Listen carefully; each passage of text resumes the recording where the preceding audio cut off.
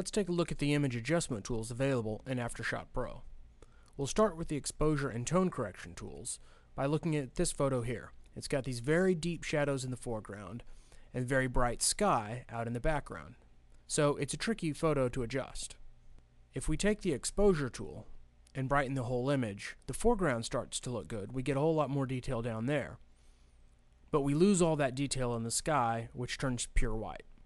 So double click exposure to reset that, and instead use fill light. Fill light brightens the shadows without overexposing the highlights.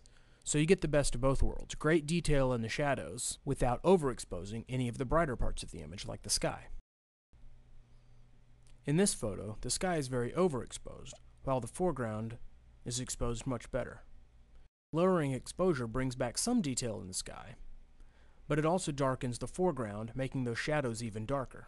If we use the highlight recovery tool, it brings back a lot more detail out of the skies, but doesn't alter the shadows at all. You can pair that with a little bit of fill light to brighten the foreground to get an overall much better photo. The black slider here makes the darkest portions of the image just slightly darker to provide an overall better looking image. Now let's look at some contrast adjustment tools. This is a relatively low contrast photo, not a lot of data out here in the shadows or in the highlights. Everything's right in the middle tones, which makes the image look pretty flat.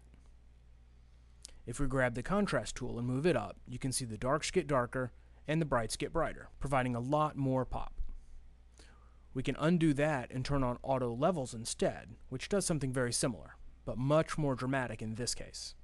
Auto levels works by making a small amount of the image pure black and a small amount pure white, and stretches the overall tone in between these two. The amount of the pure black and white are controlled by these edit boxes here.